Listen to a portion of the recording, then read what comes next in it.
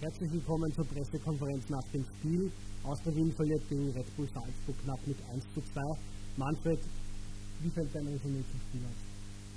Ja, natürlich sehr, sehr bitter, weil die Mannschaft äh, wirklich sehr, sehr starke Leistung gezeigt hat, die Salzburg wirklich gut gespielt haben.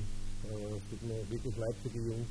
Es ist irgendwie die täglich trifft das Murmeltier. Wir haben wieder gute Leistung in Salzburg gezeigt und haben ja, wieder knapp verloren, nichts geholt, aber wir werden weiterarbeiten, wir werden sie gut vorbereiten für die nächste Woche. Vom Spiel her war es eigentlich von der ersten Minute an sehr, sehr konzentriert von unserer Seite. Wir haben die Räume gut zugestellt, die Salzburg spielen möchte, haben wenig zugelassen, waren Nadelstiche gesetzt und zweite Hälfte sind wir dann ja, durch eine Eckball-Situation in Rückstand geraten, wie nie und nimmer Eckball war. Was mich, was mich daran ganz besonders ärgert, ist natürlich, dass die halbe Mannschaft von Salzburg schon auf dem Weg zurück war und das, das eigentlich so signalisiert hat und, und ich glaube, jeder im Stadion hat das gesehen.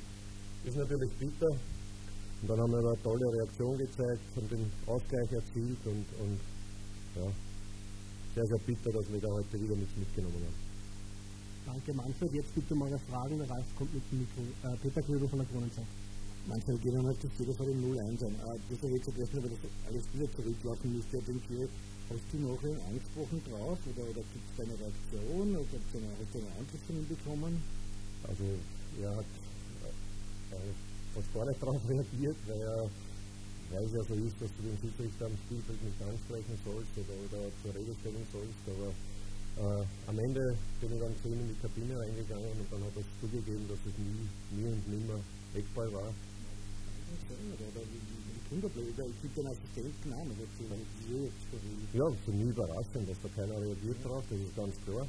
Für mich glasklare Fehlentscheidung, ich glaube, darüber brauchen wir nicht diskutieren.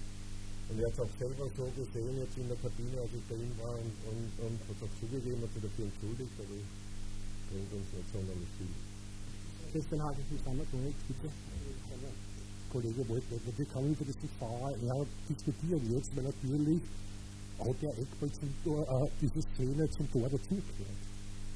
Ist das, ist das, äh, wenn, ja, der Wert ist eine völlig neue Szene, aber das Tor hätte es ja nicht gegeben, den Eckball hätte es nicht geben dürfen, ganz einfach. Das ist auch eine Schwierigkeit, müssen wir beim VAR nachdenken. Ich weiß nicht, ob man jetzt über den VAR nachdenken müsste, aber ich glaube, dass man äh, solche Entscheidungen dürfen einfach nicht vorkommen. Äh, das war nicht der einzige heute. Ich glaube, dass man da genug Personen rund um den Schiedsrichter hat, die da vielleicht eingreifen müssten, ob das jetzt VAR ist, ob das Assistenten sind. Ich glaube, dass man das einfach sehen muss, dass es viele Fehlentscheidungen gibt beim VAR auch. Das äh, war nicht die erste gegen Salzburg, wenn man ein letztes Spiel hier denkt, als, als Ulmer dann 0 wegdrängt und wir 0 zu 1 verlieren. Das war für mich auch klare Fehlentscheidung, wurde auch nicht korrigiert. Sehr, sehr bitter für die Jungs, die wirklich eine tolle Leistung gebracht haben das war das mal der Absatz. Das, das heißt, das, also das kann man so geben. Der Herr steht vom Torhüter. Das kann man so geben. Das, das, kann man leicht loben, aber er sagt, großes Kompliment, dass die ausführlich die Mannschaft hat. Er hat zwar nicht den besten Plan gegen Salzburg, aber, aber immer ganz einfach in, in dass eigentlich die Salzburg, die Austria weiß, wie man gegen Salzburg spielt. Das ist ja, das ist ja vorangehen lassen. Unsere Spielidee, unser Plan ist, ist perfekt aufgegangen, äh, was der große Unterschied noch ist. Also die Salzburger, da brauchen wir nicht diskutieren, haben sind uns Jahre voraus in ihrer Planung, in ihrer Spielidee, in der Entwicklung ihrer Mannschaft. Wir sind im ersten Dreivierteljahr oder in der ersten Saison, wir versuchen uns zu verbessern. Wir haben, wenn man schaut, was wir vorne aufgestellt haben von, von Spielern, sehr, sehr junge, hungrige, willige Spieler, und was dann Salzburg einwechseln kann, das sind äh, Riesenunterschiede.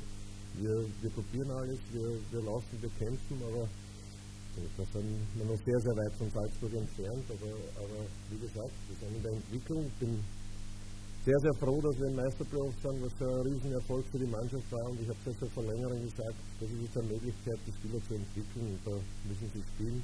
Ohne Spielpraxis wird es schwer ist auch dann im Endeffekt, wenn ich sage, Zufall Salzburg ist tatsächlich in der letzten Viertelstunde heute auch. Dies ist auch so aufwendig in Salzburg, als ein spielen, dass automatisch ein bisschen Zeit Lust und Konzentration ausgeht. Das ist sehr, sehr intensiv und wenn man im Vorfeld gesagt, mich ist ganz klar eine Champions League-Mannschaft vom Niveau her, äh, die die 90 Minuten unter Druck setzt, die dann letzten 20, 30 Minuten noch frische Spieler reinbringt, die bei uns wahrscheinlich Stammspieler werden. Na klar, äh, lässt irgendwo die Konzentration nach, aber trotzdem, die Jungs haben das überragend gemacht und, und tut mir nur leid, äh, dass nichts dabei rauskommt. Jetzt in einer Woche schon wieder. Ist eigentlich den gleichen Plan oder muss man da die Leute genauso auftreten wie heute oder kann man sich da irgendwas einfallen lassen?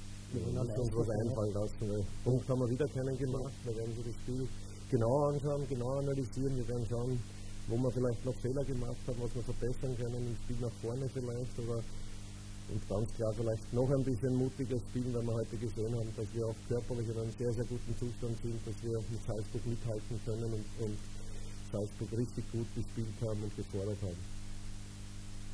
Gibt es noch weitere Fragen? Ja. Das hat ja den Romeo Vucic von Anfang an spielen lassen. Erstens warum und zweitens, äh, wie hat er da gefallen? Ja, erstens einmal habe ich ihn spielen lassen, weil er seit Wochen aufzeigt. Also wenn, als ich gekommen bin in der 18 Spielen gesehen, da war er nur mit Ball unterwegs, hat, hat ohne Ball eigentlich fast gar nichts gemacht. Körpersprache war nicht die richtige, aber man hat erkannt, dass der eine Qualität hat. Dann haben wir ja in den Länderspielpausen immer äh, junge Spieler in die erste Mannschaft geholt, um sie kennenzulernen, immer drei, vier, fünf andere Spieler.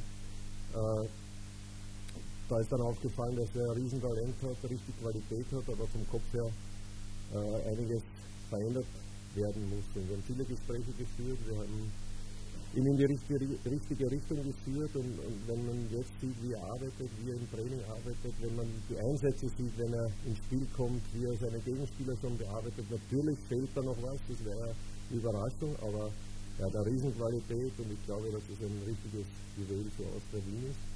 Und zur zweiten Frage, zur Leistung heute, also ich glaube für das erste Spiel von Beginn an gegen eine Top-Mannschaft hat er das sehr, sehr gut gelöst, hat taktisch eine Kamera gar nicht ins Spiel kommen lassen, war äh, sehr, sehr viel unterwegs. Und das kann man aufbauen, also ich bin sehr, sehr zufrieden mit ihm. Gibt es noch weitere Fragen? Es gibt keine Handzeichen mehr, dann sagen wir Danke an die Medienvertreter für die Fragen und danke an die Zuschauerinnen und Zuschauer von Viola TV. Wir wünschen noch einen schönen Sonntagabend und einen schönen Feiertag morgen. Ciao.